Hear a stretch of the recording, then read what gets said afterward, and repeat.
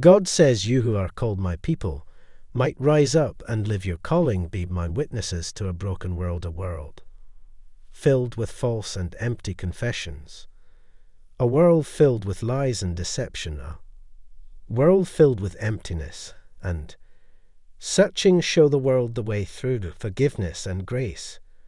Is upon you my grace will be with you.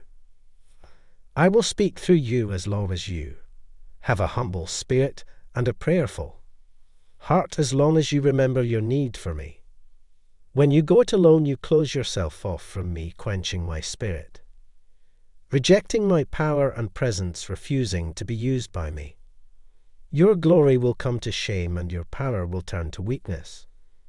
I will remove my spirit and blessing from you, for I will not bless and empower any who seek the glory and dominion for themselves. Yet by the power and grace of Christ, the rain shall come through you. God says, I, the Lord your God, call you to faith and faithfulness. I call you to rejoicing in praise. I call you to community and holiness, to be a people set apart for righteousness and justice, freedom and life, the world through sacrifice and the love. You have declared my resurrection and celebrated my risen living presence. You have claimed the gift given unto you. Yet it is yours only as you give it unto others, for I did not die, nor was I raised for my own glory. Walk in humbleness of heart.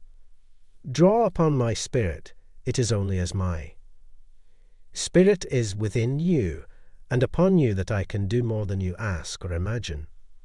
Without my spirit you establish a spirit of rebellion.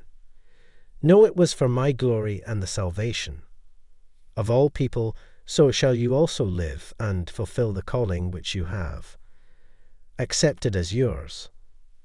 God says, I am the Lord your God, who called you out of your brokenness and sins.